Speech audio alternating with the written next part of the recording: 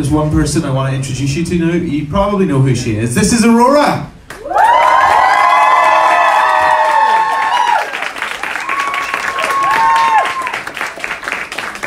We're ridiculously color coordinated. This wasn't planned. We, we, we didn't mean to just like turn up in orange, did yes, yes, we did. yes, we did. We did. We went. Aurora like texted me earlier. She was like, "You don't wear orange. Don't bother showing up."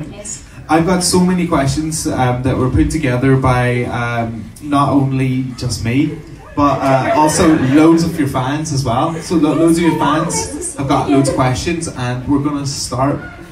I could start with a really deep one, or I'm gonna start actually with the um, animal video. Tell me a little bit about making that animal video, the one that we just saw there now. It was very late. I was in LA, which is a very different city from what I enjoy normally. Big up the LA crowd, yeah. What? You don't like LA? Um, I prefer different cities than LA. and, but I went there because I wanted it to look, because it had the right vibe for me. Because I don't, because it's it's that strange place. I think it's a very strange place. And we began filming at five in the afternoon, and then over the night. So I just flew in the middle of the tour I had in Europe. So in between two shows, I flew to LA and stayed awake for the night and filmed it, ate the eggs, and um, I was driving quite fast actually. And we had this uh, police, and we had the police. Ah, we had the police cars um, escorting us. It was very fun. Yeah. Was that the meaning? Was that the question? What did I do? Why not?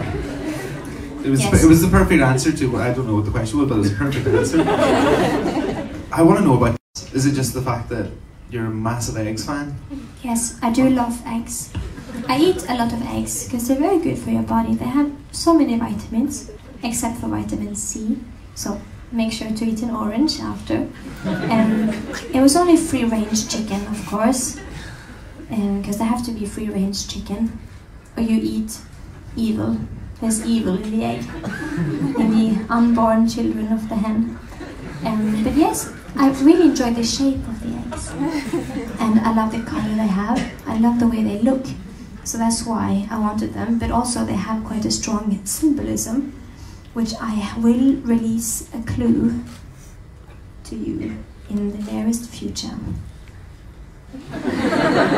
Oh, am I the only one that's on like the edge of my seat right now? It's like, I want to know what this is. Like, okay, right, fair enough. We'll, we'll, we'll get back to it. But you, you love, um, like your, your videos always mean quite a lot. Like a lot of time and effort goes into making them. It's not just a byproduct for releasing a song, is it? No, no.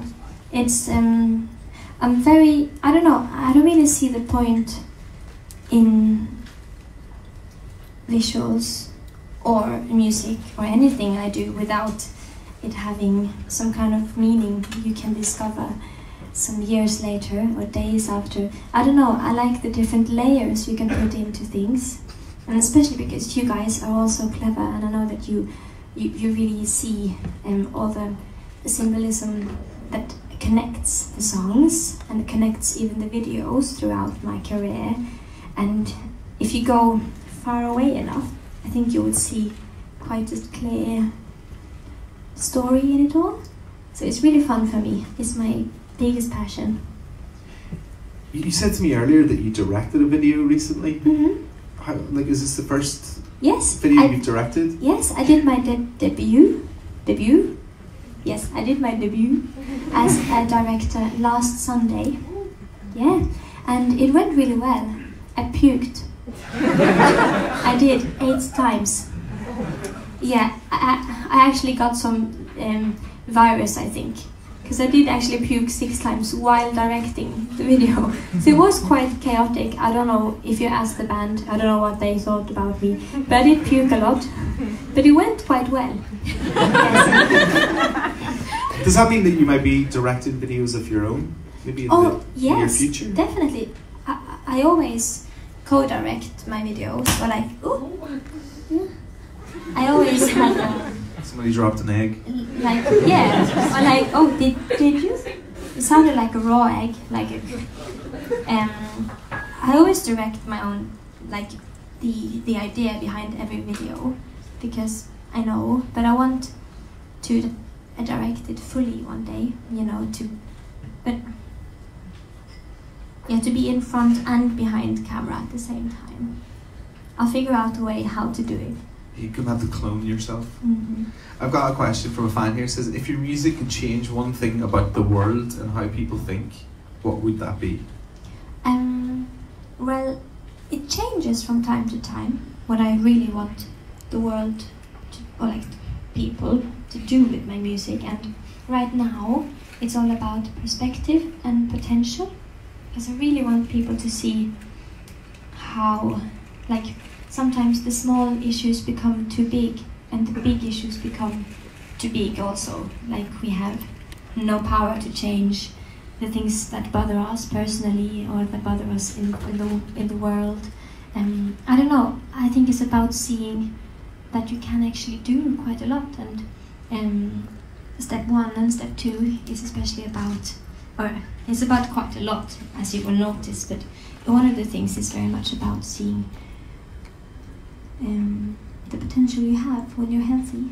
That's that's kind of what you did with um, one of your last singles, Queendom, isn't Yes. it? Yes. Also with Queendom, yes. What was the message behind that when you were getting that out? Um, well, it, it was the, the perfect beginning to it all because it's about, um, it's kind of like an invitation to all of us, mm, a place where you can be safe and love whoever you want to love and, and be shy, but not, but you know, it's, it's weird how, how the world treats introverts when over half of us is, or maybe more, maybe 90% of people is an introvert at heart at least. Um, and it's so strange to me to see how the world doesn't really listen.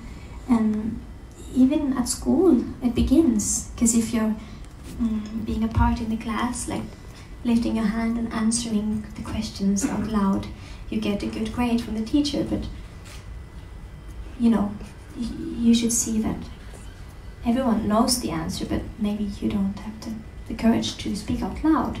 So it's weird that even from my childhood, the world is not built for introverts and quiet people. Which kid were you when you were at school? Would you put your hand up? No, I didn't pay attention in class. um, so I got yelled at quite a lot. What were you daydreaming about when you, you were in class? Um, I was dreaming about quite a lot of things, sometimes quite uh, morbid things, depended what mood I was in, and sometimes quite sweet things also. But I did like to draw a lot, and I did like to take notes. So I like to look down in my book, especially if really you- good. if you were drawing in class and the, the teacher found your your drawing, would they take it off you and like Mm. tell you off about it? Yeah, I got yelled at quite a lot for not paying attention.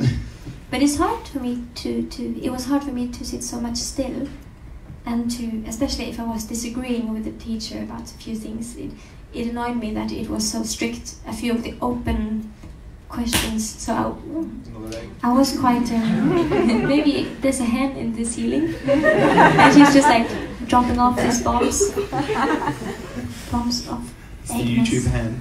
yes It's got 20 million hits. Um, uh, do you write a lot of songs or sing a lot of songs in Norwegian?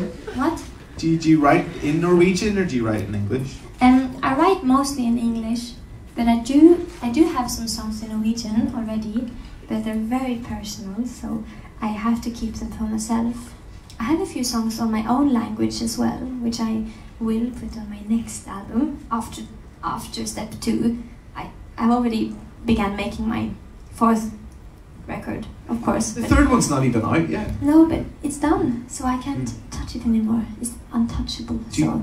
do you feel like you have to like create music all the time? Like you don't Mm. take time off from it? Well, I do take time off when I don't feel it, like, because it's a creative thing and it should be based on um, that you want to do and that you have something specifically to tell or to create, you know. So if I don't have it in me, like a writer's block, it's not really, it doesn't annoy me because then I just do other things. Well, what do you do to get over writer's block? Some people go for walks, some people go on holidays. I don't know, I don't really think much about it. I quite enjoy it because then I can do other things. It's nice to have a break from the. It's kind of like a manic thing when I, you know, because I write all the time. Even now, even backstage, I write music and lyrics all the time. So it's nice for me to have some breaks when I don't have it in me. What is like uh, your downtime? What do you do? What do you enjoy doing when you're not making music? Writing music. no, I, I do paint a lot. I like to paint. Um, I'm not really good, so it's, but I like it a lot because it's it's it has no sound. And it's so nice to do something that is quiet, you know, because I work with music all the time and I have so much noise in my life, so it's so nice to have a quiet moment. I love painting and I love dancing and I love reading and taking showers. But I, but I hate taking showers with soap, but with like just water I love. And yeah, I love washing my feet. We- we- We've covered quite a lot of the senses. Like, we, obviously in the music, we've got like um, the, the ears, and in uh, yeah, like visual with the art. But a question from one of the fans is, "What's your favorite smell?" Mm, well, I do. I quite like the smell of um, people I love, like the people I love, the way they smell when they are, are a bit sweaty. I really like. This is really like safe. And of course, I like the smell of babies because they they smell like they would taste delicious. and I love. I love the smell of people that have just had a cigarette. I actually love the smell of that. Love the way it smells. Mm, and lavender. yes. Yeah, lavender's like the one that like a lot of people say. Probably not the other three. yes, but I Um, really do like the. If you had the opportunity to collaborate with anybody, if you could collaborate with anybody, alive or dead, who would that be? Well, my biggest dream was to collaborate with um, Chemical Brothers, which I really love, but I have already. I've written some songs with them for their next album. And maybe I would do a live performance with them this summer, who knows.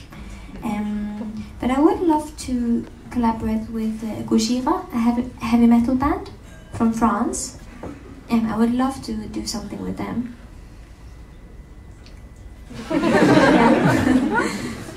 So, what instruments do you play? What do you, what do you, what do you primarily write on, and what other instruments do you play? Well, it's hard for me uh, to define if I can play something or if I can't, because I, I don't I haven't learned how to play anything. I play everything by, by heart, but I not I know it's a really busy hand. and I do play piano, of course, quite a lot, but I also play the drums, and I used to play the bass guitar at school, and I play the harp, and yeah. Which one do you wish you could play the best? Like, if you- when you watch somebody play, say if you're like on YouTube and you're watching like a video of somebody playing piano or drums, would you? Well, Which one would you think like? Oh, I wish I was amazing at that. I wouldn't want to be amazing at something without experiencing the way there, because it's so nice to get good at something. I don't know. And then you forget here, but you remember it in your body, in your fingers. I would love to play the bagpipe really good because I love the way it sounds. Yeah. I really do, seriously. I love the way the bagpipe sounds. And I would play it at all my friends' funerals because it's, it's such a nice um, funeral instrument. Yes, I can play at your funeral. A A baby for mine. the dark here. Um, when you're 110. the last time that we, we spoke, we, we spoke about your pet Igor. Yes. I, I wanted like to catch He's up. still alive. Yeah, we did a podcast a little a little while ago, Mm. and um, I just wanted to see how. Number one, to the people who aren't ingratiated to the legend that is Igor, could you tell us who he is and how he's getting on? Um, Igor Septimus III is my algae ball, and he's about this big. He's about he's quite green. He should be more green than he is, but it's been a bit sunny lately. Well, last year it was a bit much too a bit too much sun on him, so he lost the green a bit. But I put him in the fridge, and then he's a bit better. But he's an algae ball. He's hairy and very nice. He doesn't say anything. He has no eyes or limbs, but he has a heart, I think. And he eats nothing except for the oxygen, oxygen in the water. And maybe you can give him a bit of salt once in a while, because then he. Mm, but, but just search algae ball